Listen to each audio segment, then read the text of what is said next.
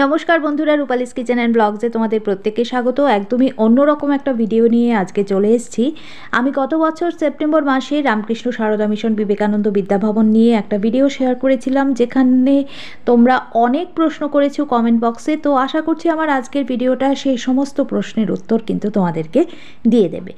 Ramakrishna Sarada mission Vivekananda Vidyabhavan মূলত একটা residential college partly residential college এখানে কিন্তু, আর এটা কিন্তু সবচাইতে বড় কথা, একটা মেয়েদের কলেজ আফটার এইচএস এখানে অ্যাডমিশন নেওয়া যায়।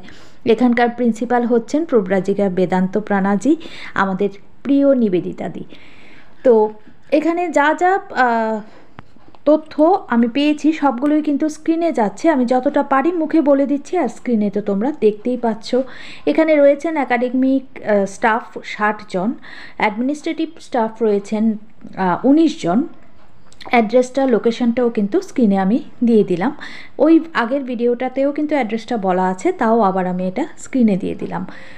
বেশ কিছুদিন আগে আমাকে একজন প্রশ্ন করেছ যে এখানে আমি ভারতবর্ষের বাইরে থাকি, তো ভারতবর্ষের বাইরে থাকা অবস্থায় আমি কি এই কলেজ এই কলেজে এসে অ্যাডমিশন নিতে পারি? অবশ্যই তুমি এই কলেজে অ্যাডমিশন নিতে পারো।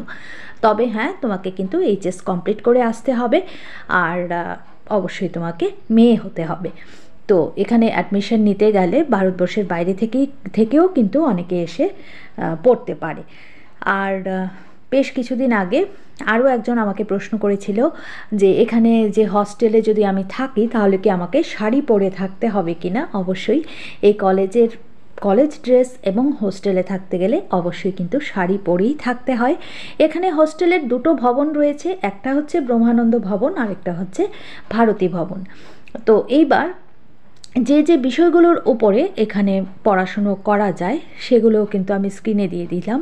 বাংলা, ইংরেজি, Sanskrit education philosophy political science history economics sociology তারপর রয়েছে জার্নালিজম এই সমস্ত বিষয়ের উপর কিন্তু এখানে থ্রি ইয়ার্স কোর্স করা যায়। অনেকগুলোর ওপর অনার্স কোর্সও কিন্তু করা যায়। তো এখানকার হোস্টেলের রুলস অ্যান্ড রেগুলেশনটা একটু করা অন্যান্য ক্ষেত্রের তুলনায়, কারণ এখানে কিন্তু প্রত্যেকটা মেয়েকে ডিসিপ্লিন তৈরি করা হয় এবং সেলফ সাফিসিয়েন্ট বানিয়ে তোলা হয়। এবং এখানে যথেষ্ট রকম হোস্টেলে থাকাকালীন যথেষ্ট রকম দায়িত্ব কর্তব্যও পালন করতে হয়। বিভিন্ন রকম কাজে অংশগ্রহণ করতে হয়, যেমন গার্ডেনিংয়ের কাজ, তারপর ঠাকুর ঘরের বিভিন্ন রকম কাজ সিক রুমের বিভিন্ন রকম কাজ এগুলো এগুলোতেও কিন্তু অংশগ্রহণ করতে হয়। একজন আমাকে কোশ্চেন করেছিল, এখানে কি ক্লাস সিক্সের থেকে অ্যাডমিশন হয় কি না না গো, এখানে শুধুমাত্র আফটার এইচএসসি অ্যাডমিশন নেওয়া হয়, এটা মূলত একটা কলেজ তো এখানে ফি স্ট্রাকচারটা সম্পর্কে আমি কিছুই দিলাম না, কারণ এভাবে ফিটা এখানে ডিসক্লোজ করাটা বোধহয় ঠিক হবে না বলেই আমার মনে হলো। তো অবশ্যই আমি যে এখানে ওয়েবসাইটের একটা অ্যাড্রেস দিয়ে দিয়েছি স্ক্রিনে সেটা দেখে কিন্তু তোমরা সমস্ত ডিটেলসটা পেয়ে যেতে পারো। তা আশা করছি আমার আজকের ভিডিওটা তোমাদের অনেক ধরনের কোশ্চেনের অ্যান্সার দিতে পেরেছে মানে আমি পেরেছি ভিডিওতে আরেকটা কথা বলি, এখানে কিন্তু সারা বছর বিভিন্ন রকম প্রোগ্রাম হয়, যেগুলোতে সবাই অংশগ্রহণ করতে পারে। তবে হোস্টেলে যারা থাকে, তারা কিন্তু লম্বা দুটো ছুটিতেই বাড়িতে যাওয়ার পারমিশন পায়। একটা হচ্ছে সামার ভ্যাকেশন আরেকটা হচ্ছে পুজো ভ্যাকেশন আর ছোটোখাটো ছুটি ছাটাই কিন্তু তেমন একটা বাড়িতে যাওয়ার পারমিশন দেওয়া হয় না। যদি না গার্জিয়ানের কোনো লেটার থাকে কিংবা প্রিন্সিপালের পারমিশন থাকে। আর আরেকটা কথা হলো হোস্টেলে যারা থাকে তাদের জন্য ভিজিটিং তাদের বাড়ির লোক এসে ভিজিটিং আওয়ার্সে অবশ্যই তাদের সঙ্গে দেখা করতে পারে। প্রতি সানডেতে সকাল আটটা থেকে দশটা আর বিকেল তিনটে থেকে পাঁচটা কিন্তু ভিজিটিং আওয়ার্স আর হ্যাঁ আরেকটা কথা লাস্ট সানডেটাতে কিন্তু কোনো ভিজিটিং আওয়ার্স থাকে না। হস্টেলের মধ্যে কিন্তু বাইরের কাউকেই অ্যালাউ করা হয় না। একেবারেই কিন্তু বাড়ির লোককে কিংবা বাইরের যে কোনো কাউকে কিন্তু হস্টেলে গার্লস হোস্টেলে ঢুকতে দেওয়া হয় না। সুতরাং সেদিক থেকে কিন্তু খুব সেফ একটা জায়গা। হস্টেলে আসার সময় কী কী নিয়ে আসতে হয় সবটাই তোমাদেরকে আমি স্ক্রিনে দিয়ে দিলাম। সেগুলো আর মুখে বললাম না। আর হচ্ছে যেমন সেফ তেমন মেয়েদেরকে সুশিক্ষা দেওয়া, মাতাজিদের সান্নিধ্যের থেকে মেয়েরা কত কী যে শিখতে পারে, সেটা তো বলাই বাহুল্য। মাতাজিরা কিন্তু যেমন করা, তেমনি মাতৃস্নেহে মেয়েদেরকে বড় করে তোলেন। আর হস্টেলের খাওয়া দাওয়া সত্যি খুবই স্বাস্থ্যকর।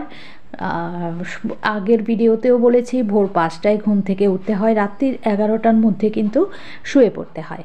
তো এই হচ্ছে নিয়ম কানুন মেইন কথা যেটা, সেটা হচ্ছে যাদের মেইন প্রশ্ন ছিল কখন অ্যাডমিশন হয়।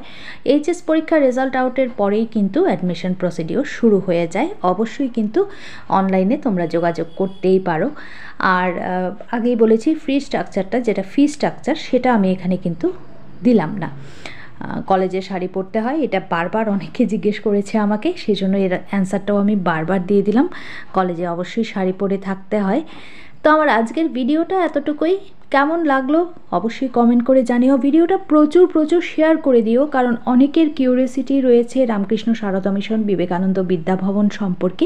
সবাই যেন জানতে পারে এই কলেজটা সম্পর্কে, তার জন্য তোমরা অবশ্যই কিন্তু ভিডিওটা শেয়ার করো। আজ চলি তাহলে। সবাই খুব ভালো থেকো, সুস্থ থেকো। নমস্কার সবাইকে।